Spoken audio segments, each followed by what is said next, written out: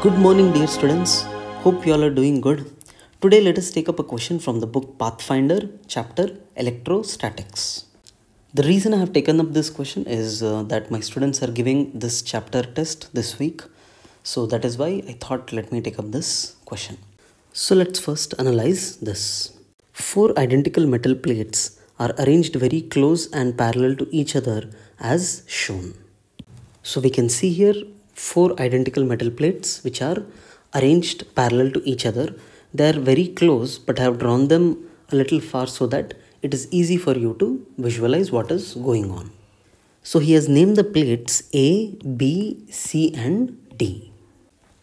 Plates A and D are connected across a voltage source which maintains the potential of A higher than that of D by V0. So we have a voltage source here V0 and the plates A and D are connected by a wire. Let me now close the switch so that the potential difference between A and D is V naught.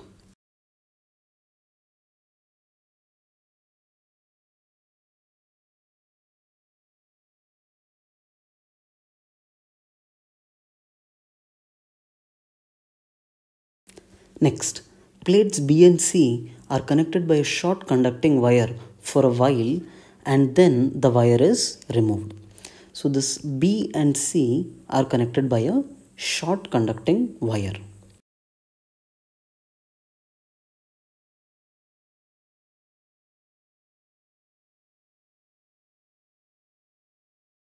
Okay, so these both are connected by a conducting wire for a while and then this wire is removed. So after this, this wire is removed.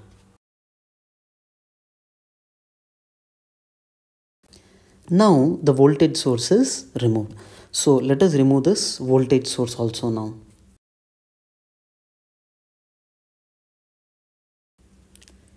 And then plates A and D are connected by another short conducting wire.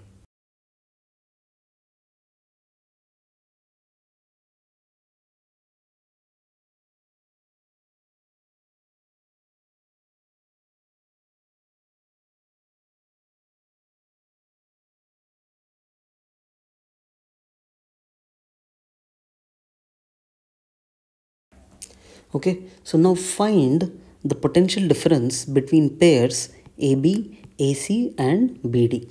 So what is the potential difference between these two conductors AB? Then uh, potential difference between these two conductors AC and finally potential difference between B and D. So firstly we can consider AB, BC and CD as three capacitors and these three capacitors are connected in series.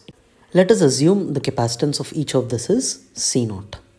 The effective capacitance of these will be C0 by 3. Now let us close the switch.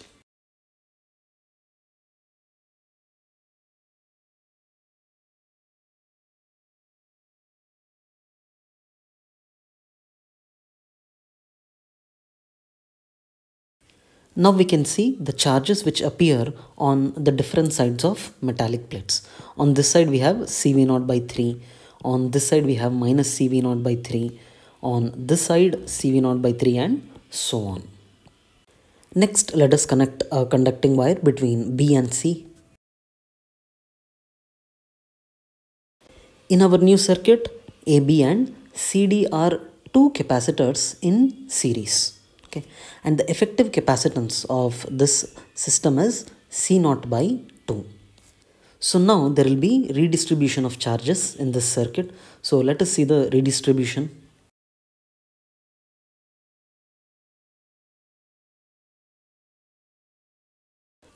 On a the charge is cv naught by 2 on the left side of b we have minus cv naught by 2 and on these two sides we'll have the charge as 0 and on C and D we will have CV0 by 2 charge.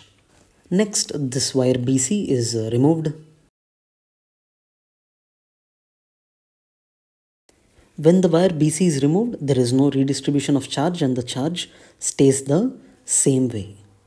Next this battery is also removed. The charge distribution on the plates still remain the same. Now A and D are connected by a conducting wire.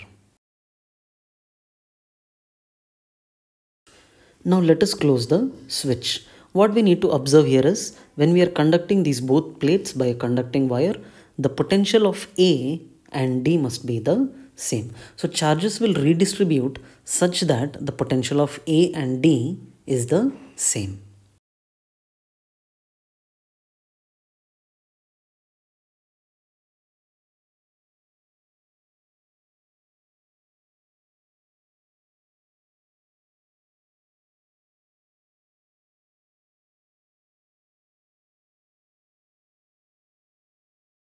So let us say X amount of charge has flown from A to D. You had seen that there was charge flowing through this wire. So let us say X amount of charge has flown. So this will be the final distribution of charges. So X charge has flown. So the charge here will be CV0 by 2 minus X. Here minus CV0 by 2 minus of X. So there is a, the total charge on this must be CV0 by 2 so the balance minus x appears on the other side of plate B. And here it will be minus x and CV0 by 2 minus x here and here minus of CV0 by 2 minus x. So we can write VA equals to the potential of A equals to the potential of D. Let us start from plate A and move towards plate D. So potential of this plate is VA. So I'm writing VA here uh, when we go from A to B, the potential drop is Q by C. So I've written Q CV0 by 2 minus X by C with a minus sign because it is a potential drop. Next, when we go from B to C, there is a potential gain and that is plus X by C. So the charge is X here. Okay. So plus X by C. Next, we go on from C to D Again the charge here is CV0 by 2 minus x. There is a potential drop. So minus of CV0 by 2 minus x by c equals to the potential at D which is equal to Vd. When we solve this equation we get the value of x as CV0 by 3. So let us write the final charge distribution on these plates. So the final charge distribution on these plates are CV0 by 6. This side minus CV0 by 6 CV naught by 3 and here plus CV naught by 3 here CV naught by 6 and on this side minus CV naught by 6. Now we need to calculate the potential difference between A and B, A and C and A and D. So we can write VA minus Q by C. So the charge here is CV naught by 6 and there is a potential drop from plus to minus. So minus Q by C equals to VB. So we get VA minus VB as V0 by 6. Similarly, writing the equations between plates A and C, we get VA minus VC is minus V0 by 6. And finally, you can solve VB minus VD, you'll get as minus V0 by 6. So I hope you have understood this question from electrostatics. I will leave here and let us again meet in the next video.